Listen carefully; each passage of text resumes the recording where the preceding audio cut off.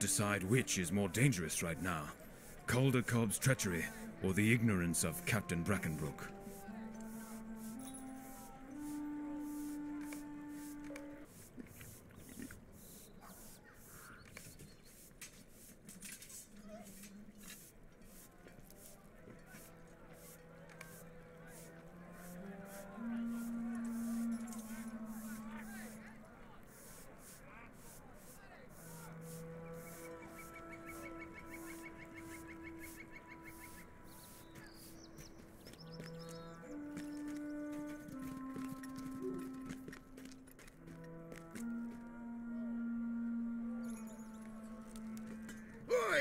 You there! Uh, let me go!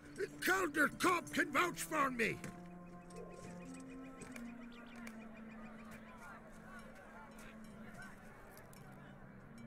Greetings.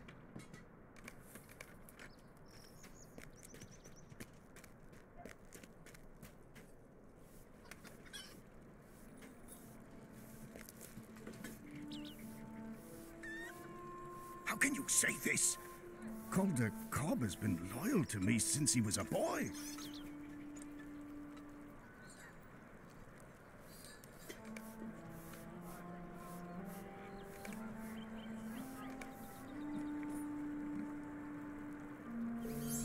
I suppose it would be wise to investigate your claim.